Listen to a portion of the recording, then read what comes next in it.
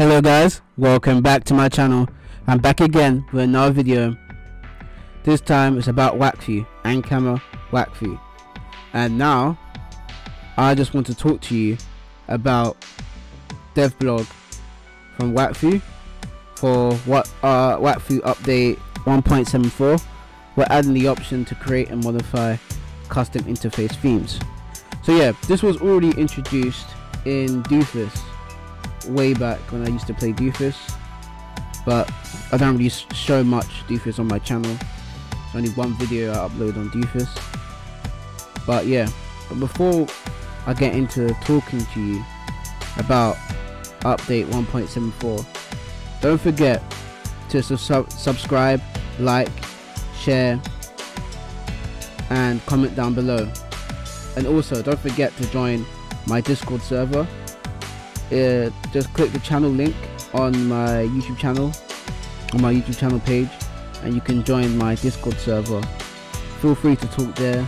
Please do not be uh, negative on my Discord server. So yeah, let's stop rambling on about that and let's continue with the discussion. So,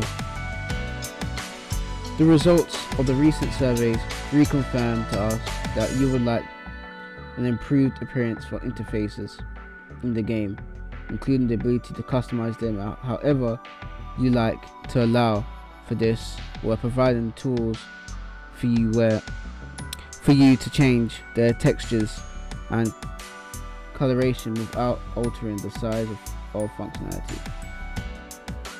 How do interfaces work?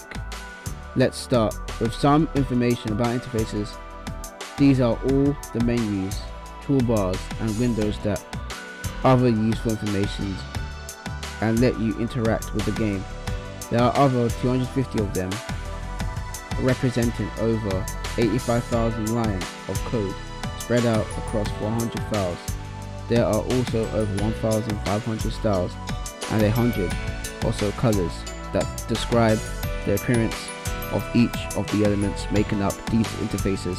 The most complex interface is the character inventory, 2000 lines, 12 templates and 83 functions. The interface engine that manages all of that is called Xulor. It was created long before the game came out in the first beta versions of Wakfu Dofus Arena, although it met the game's needs at the, at the inception.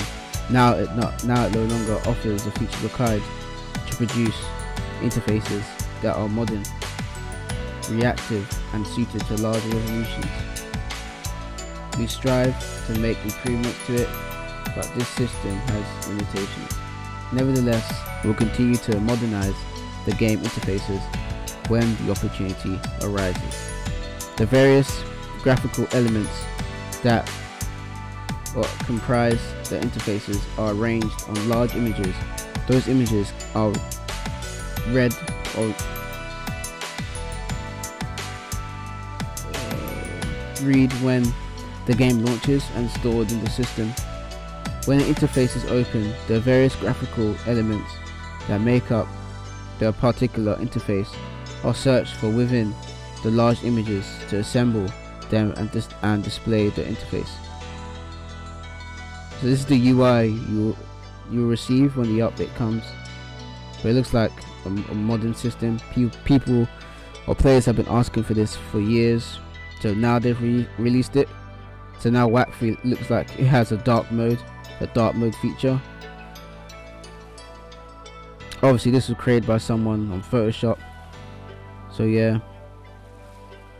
Why isn't there a dark theme? We have explored the possibility it would be rather easy to make a basic, and complete dark theme that could be improved over time, but we very much don't want to provide an imperfect, unfinished theme. True. But doesn't it take longer for you to improve the theme? Yeah, you can improve it over time, but it's how fast can you improve the theme, the dark mode theme over time? Yes, it looks nice. Yes, it looks pretty. Yes, it does. I do I do prefer this theme, dark mode. looks nice but yeah that's it I think when the beta update releases for 1.74 we can go and test it out or I can show you a test view on my channel on themes as well so yeah we can I can show you that after. But for now you can also check their um Ankama live uh live stream on Twitch or something like that. You can watch that but it's in French. So you can translate if you're an English reader. And you can watch their video from there. So yeah. I think that's it because you get the drift if you play Dofus or Wakfu or any like Ankama or well not any but Wakfu Dofus or yeah within within this category you will know about themes and stuff. I don't really need to go into detail about themes and stuff but yeah it's positive it's good it's really good yeah.